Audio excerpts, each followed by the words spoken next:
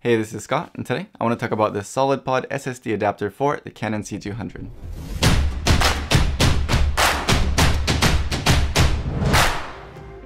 So I think that most of the people who are watching this are already going to know what the SolidPod is and how it works, but basically it's just an adapter that fools your camera into thinking it's recording to a CFast card when actually it's letting you record to a larger and more affordable SSD. Of course the price of CFast cards is coming down and I myself have a few from Angelbird that I've been using quite a lot, but if you're recording a lot of raw video on the C200, the SolidPod and SSDs is still going to be much cheaper. Again, I know a lot of the people watching this video are already going to know a lot about the SolidPod itself, so I just want to talk about some of the things that I've seen a lot of people asking about it, and also some of the things that I thought when I got my hands on it for the first time, even though I had researched it a lot before I got it. Yes, I know there is someone who makes a cheaper version of the solid pod with a flatter cable, and I'm not reviewing this in competition with that at all. People who prefer one or the other probably have their own reasons for preferring one or the other, and those are all very legitimate reasons. But for the people who are interested in the solid pod specifically, I wanted to make this video to talk about those things that maybe hopefully will answer some of your questions. For me, I love how solid this is, no pun intended. It just feels extremely solid and rugged in your hands. It's all solid metal except for the card, of course, and the cable is built into the box, so you don't have to worry about losing that connection or breaking that connection or anything like that, and just overall it feels really, really rugged and high quality. Also, I personally didn't feel like it was too large or obtrusive at all, to be honest with you. Of course, there are a number of different ways that you can mount this, but I personally have it on a 15 millimeter rod that slips right into my Zacuto top handle, and it does not get in the way at all. It doesn't take up a whole lot of space, and you know, with everything else, the microphone, the monitor, the handle itself, it really doesn't even stand out visually at all.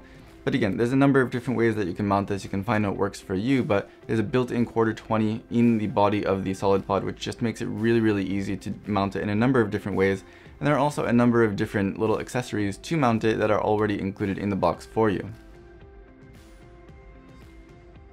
No, I don't think this is something you should use all the time, and it's not something I would recommend in place of a CFast card. You still should have some CFast cards because there are plenty of situations that for you know a number of reasons will call for an internal CFast card that's simpler and doesn't require any extra cables or anything like that. But in all other situations, this is a huge help to be able to record longer without having to break the bank, and I've really loved using it.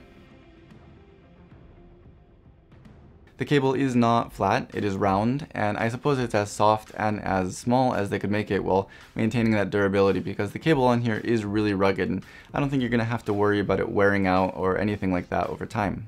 Of course, the thing that most people are going to be worried about though is not the cable, it's the card door because yes, you are kind of shoving this cable through that card door and pushing it shut on top of it.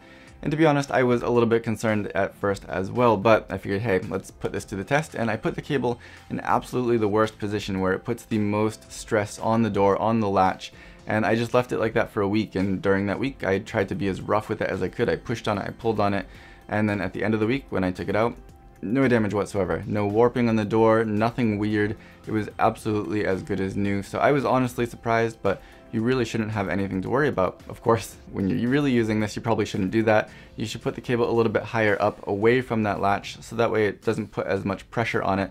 And when you do that, it really works pretty smoothly and there's really not any stress on that lock at all. It looks like there is, but there's really not. It closes down very easily and I've been using it a lot and I can say that after you know a couple of months of using this there is no ill effect at all on that door so unless you're extremely rough and you drop your camera or something like that in which case I think you'll have more things to worry about than just that this should cause no problems whatsoever and it's nothing to be concerned about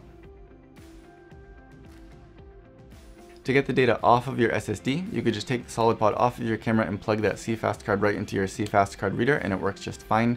But you could also get the SolidPod SSD reader, which lets you just take the SSD out of the SolidPod and put it into the reader, which is basically the same as the SolidPod itself in terms of the build quality and shape and everything. It just doesn't have that quarter 20 mount on the bottom. And that works really great. And that allows you to then swap out a couple of SSDs if you have two or three of them. And if you bring that card reader with you on set, you can actually use that as kind of storage for one of your SSDs if you're swapping a couple of them out, which is really, really useful. Just in and of itself and then you come home and plug in the USB and you're good to go. Again, I know that this is also a little bit more expensive than the other option which I talked about earlier, but what you're getting here is an incredibly solid kind of complete, easy to mount, easy to use package with, you know, accessories, with a cable that is permanently connected to it so you don't have to worry about that connection there. And just, you know, it looks nice. It looks polished, it looks finished, and it looks like it belongs in your camera. At the end of the day, yes, they do get the same job done. So whether or not those things matter to you is up to you. And I'm not arguing one way or the other. Every person has their own very legitimate reasons for preferring one or the other of these options but I like having, you know, the attached cable, the polished, finished looking design, and a really solid, rugged build.